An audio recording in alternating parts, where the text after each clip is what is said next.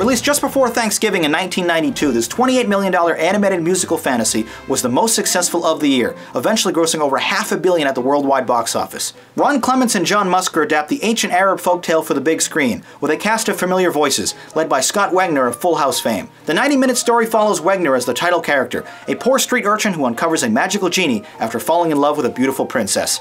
He's motivated early by a passing prince who reminds him, you were born a street rat, and you'll die a street rat. Come on, let's get out of here. Gotta keep one jump ahead of the breadline, one swing ahead of the sword. I steal only what I can afford. That's everything. One jump ahead of the lawmen. That's all, and that's no joke. These guys don't appreciate I'm pro. Riff raff! Straight rat! Scoundrel! Take that! Just a little snack, guys. I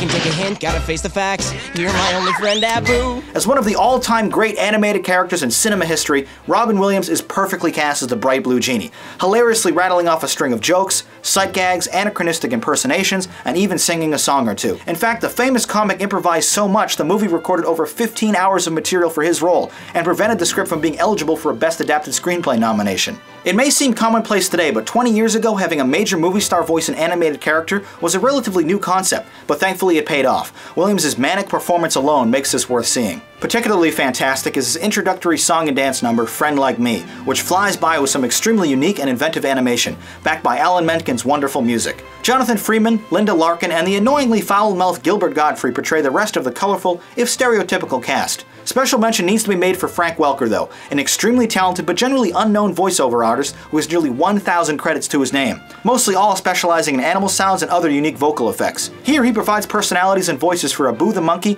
and Rajah the tiger, among other characters. His career has been so prolific that the combined gross of all his projects is second all time behind only Samuel L. Jackson. Back to the film though. At its heart, it's a fun adventure set in an exotic location with likable characters, a simplistic romance plot, and plenty of goofy hijinks. As expected, Disney's trademark animation style is vibrant and beautifully rendered, especially in the film's Oscar-winning sequence for A Whole New World. As has been my faux criticism of all children's films, the quickly paced story is a touch heavy-handed and rushed at times, but the characters and music provide a lovely experience that'll remind kids it's important to be true to yourself and not get wrapped up in materialistic endeavors. Eventually spawning two sequels, a TV series, toys, video games, merchandise, and a Broadway play, this G-rated movie is a timeless classic people of all ages can enjoy again and again. Aladdin, sparkling fable with hilarious moments. Now let's read some of your reviews.